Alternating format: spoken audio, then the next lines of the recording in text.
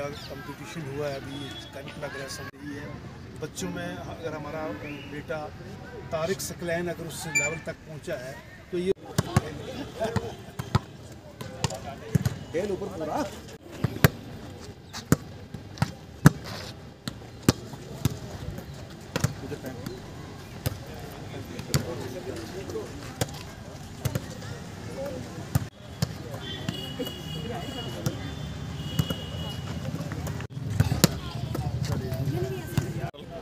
शाबाश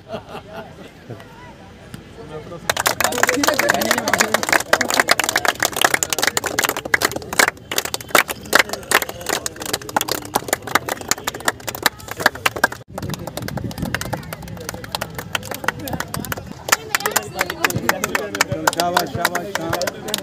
बहुत बढ़िया बहुत बढ़िया, शाबाश। इधर लड़कियों के पास मैं भी बहुत खुश हूँ और मेरे घर वाले भी बहुत खुश है। और आप ग्राउंड का माहौल तो देख ही रहे हो। कोच साहब भी बहुत खुश है। बहुत ही कठिनाइयाँ आई है मुझे इस मुकाम तक पहुँचने में। पढ़ाई के साथ साथ एक बच्चे के लिए ग्राउंड चूज़ करना, ये बहुत बड़ी बात होती है एक लड़की के लिए। और जेड के हम, मैं पूछ लास्ट मतलब एलओसी लास्ट बॉर्डर के पास है बिलोंग करती हूँ। मेरे लिए बहुत बड़ी बात है। मेरे पेरेंट्स के लिए भी कि उन्होंने मुझे इतना सपोर्ट किया मुझे खेलने दिया मुझे कभी रोका नहीं किसी चीज़ के लिए रोक टोक नहीं थी। तो आज मैं इस मुकाम पे हूँ मुझे बहुत खुशी है इस बात में एम सब यही है कि 31 में नाम आ गया है तो अब जो जो मतलब कमियाँ हैं मेरे में मैं कोच साहब से यही बोलना चाहूँगी कि जो जो कमियाँ हैं मेरे में मुझे वो बताएँ। मुझे पूरा प्रिपेयर करके वहाँ पर भेजें ताकि मैं फाइनल लिस्ट में आ ही जाऊँ अपना और अपने घर वालों का और कोच साहब का नाम रोशन करूँ आगे ऐसे ही जैसे किया तो अगर आप महसूस करेंगे तो ये हमारे पूरे इंटायर जम्मू कश्मीर के लिए और बिलखसूस पुंछ के लिए बड़ी फख्र की बात है। कि आज हमारी एक बच्ची जो है, जो जिसका नाम पायल शर्मा है जो कि हिंदुस्तान के जो 31 बच्चे चुने गए हैं अंडर 18 वॉलीबॉल टीम के लिए। उनका कोचिंग कैंप की उसकी सिलेक्शन हुई है।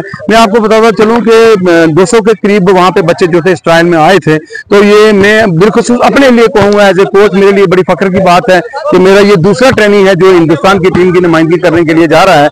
इससे पहले सकलैन तारिक, जैसे आपको पता है, उसने भी हिस्ट्री क्रिएट की थी कि वो जम्मू कश्मीर का पहला मेल था जिसने वॉलीबॉल में इंटरनेशनल खेला है इंडिया को रिप्रेजेंट किया है। तो ये वुमेन सेक्शन में, पूरे जम्मू कश्मीर में पहली वुमेन लड़की है जो जो पायल शर्मा, जिसने हिंदुस्तान के कोचिंग कैंप में जो है शमूलियत की। ये बहुत गर्व की बात है कि हिस्ट्री में फ़र्स्ट टाइम ये हमारे पूंछ की लड़की पायल शर्मा सिलेक्ट हुई है।